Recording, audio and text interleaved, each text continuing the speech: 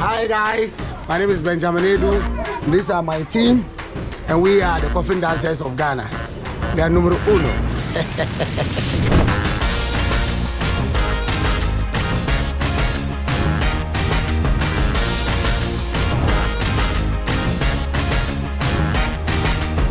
The Ghanaian pallbearers first gained international fame when the BBC did a story on them in 2017, and then during COVID, they went extremely viral in a meme on the internet. I was so curious to know more about them and their story, so on my last day in Ghana, I was finally able to get in touch. Who are these guys? Yes, that, those are my guys. This is uh, Kwadi. Kwadi. Yeah, Kwadi. And then this is Sugar. Sugar, what's up, man? Sugar. What about this guy? yes, Ashi. Ashi. Yeah. I don't know. And there's Amufa. Amufa. All over there. What's up, and man? that is Ashia. Getting ready over there? And then no, the, the one over there with the sea. How would you describe your job? is, you know, um, giving a deceased um, a befitting burial. How many different funerals have you attended? More than a thousand. More than a thousand. Yes, because I started way back 2003. How did you start in 2003? Yes, uh, you know, when I was schooling, you know, I needed to pay my school fees and stuff, so I needed to join, um, get into this, and then, you know, at the same time, get paid. Immediately I completed, I decided to, you know, um, do this full time.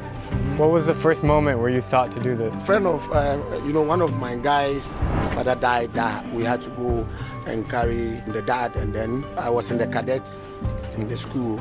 So, you know, I taught my guys how to march and then we went, seven of us carried the body, you know, six of us and then one was in front. So we carried the body and then we sent the body into the hearse, from the hearse to the church, from the church to the hearse and back to the cemetery. How did it become into like a very festive, like party atmosphere? Yes, um, around 2004, I decided, you know, I had to add the dance to it. When I added it, and then people began to love what we are doing, and I decided to, you know, always, you know, be consistent in training, in the choreography form and stuff. And then up to date, we are still on it. So people have to request you. Yes, that is, you know, it always comes from the client. Yeah. What they want. What you what you want is what we are going to give to you. Mm-hmm. So we do ask whether you want it solemn or you want a bit display. If you want the display, we'll do it for you. Explain to me what the display looks like. Yes, the display uh, looks like you know um, in a choreography form. It goes with a song. You know, we have so many songs that you need to choose a good song that will fit the deceased. Yes, assuming the deceased is a female, you have to get uh, the right song for the deceased, and then when the deceased is a male, you know, you know what to choose. So you practice the songs and dances. Yes. How many guys do you work with? For now, 100 guys that I'm working with. Yes, five of them are female, and then 95 male. See, you were the boss of 100 people. Yes. And this is a massive business. Explain to me your, your costume. Yes, um, there's my suit, my shoe, and um, you know, um, it's the same as what the guys are going to wear. And there's my shas. What does this mean? Yes, um, you know, this is my brand. You can see over there NO1, Nana Otafrija 1, the numero uno. So you get it from here. Anytime you see someone wearing this, it means the person is coming from Nana Otafrija. In 2020, during COVID, you went really viral. what does it feel like to go viral? I feel great. Very, very, very. I'm very grateful to God because, you know, I didn't expect that. I didn't expect it at all. What's your overall message? What's the goal that you're trying to do with these coffin dancing? Yes, I, I want everybody, you know, every country to adapt what we are doing. It's a source of em- employment because unemployment rate is very high. So that, you know, people that they don't have the qualification to get to where they are, they can even get something into their pocket and, uh, you know, feed the family. At the same time, cheering people up, making people to know that, you know, there's life after death. Right. And at the same time, we need to celebrate the dead rather than mourning. In my country, when people die, it's very sad. Everybody's crying. So, why do you think it's so important to make it a happy atmosphere? Yes, um, uh, it's good to celebrate the dead. Uh, for me, you know, you know what the person has done. You know what the person uh, did for you, what the person impacted in you, assuming whether the person is your mom or your dad. Uh, example, you know, your education, your well-being and stuff. So you know the end part of the person, you need to celebrate the person. The one that we need to mourn is the person who is being, who is coming, who is being born, because you don't know what the person is coming to be, whether the person is coming to be a thief, coming to be the lawyer, or even the person who will just, you know, come for a day and then just die.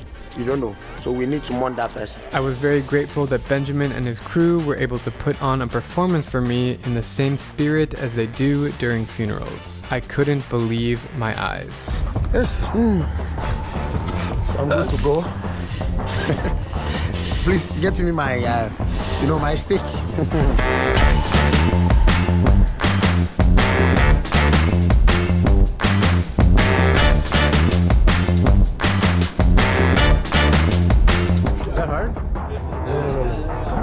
looks like It's just easy.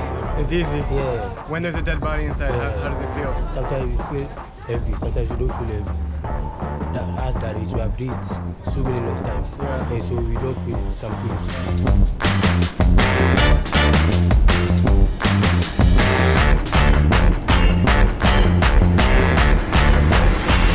How did it feel? I don't know. Yeah, it feels it feel great. You know, it's more like an exercise that we do every weekend. Right. Yes. Uh, you know, in Ghana, uh, we only, you know, our market days are um, Fridays and Saturdays. Right. Yeah, for Monday, Tuesday, Wednesday is the normal one. What are most of the comments and the reaction and feedback that you get from other people around the world?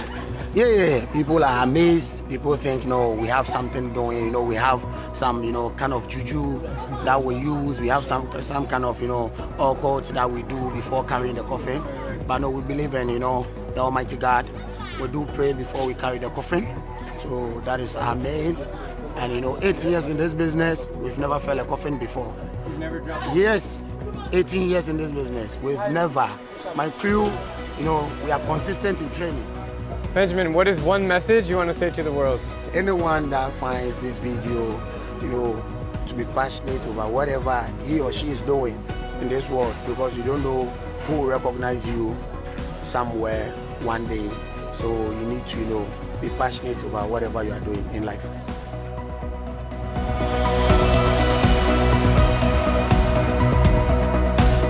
Well, it's the end of my Ghana trip, and that was a, a, a really great story to cover. It's amazing how these guys like celebrate death.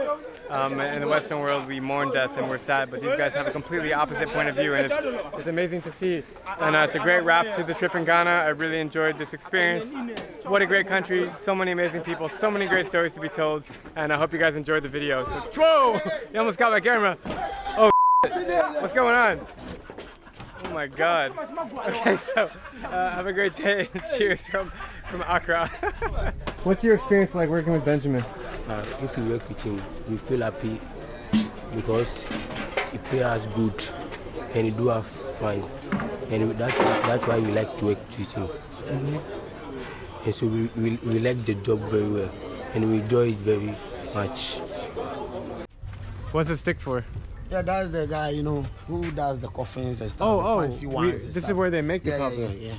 He's a friend of mine. Okay. My good friend. That's why I keep my coffin here. hmm If you can see, he makes, you know, track coffin. That's um, beer bottle coffin. You know. What? So, yes, Those- those are all fancy different coffins? Yes, yes, yes, yes. The, the meaning of the beer coffin. If the person loves drinking beer, yeah, you beer, have to that- bury it with uh, a beer, beer coffin. coffin. If that person loves drinking water, Yes. we make um, a coffin If, that is if the person is a driver, a truck driver, make, you know, that's the they do. Interesting. So so so right here they're making the coffins. Yeah, yeah, yeah. yeah. He makes the coffin, you know.